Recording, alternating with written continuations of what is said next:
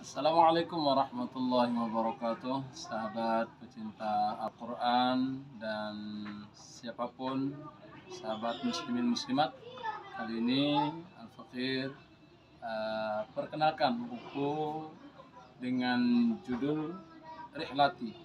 Adalah satu metode di dalam pembelajaran cepat untuk anak-anak kita menulis Al-Quran atau menulis Arab serta tentu dengan bisa membacanya.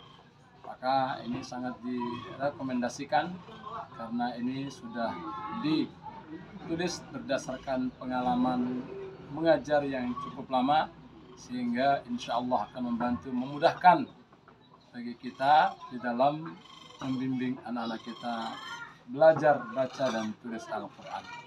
Demikian dan semoga terus berkembang. Wassalamualaikum warahmatullahi wabarakatuh.